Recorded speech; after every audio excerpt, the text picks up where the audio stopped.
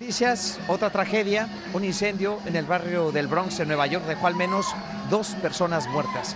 Las llamas comenzaron en la cocina de un departamento en un segundo piso, de donde los bomberos sacaron a cuatro personas de la misma familia.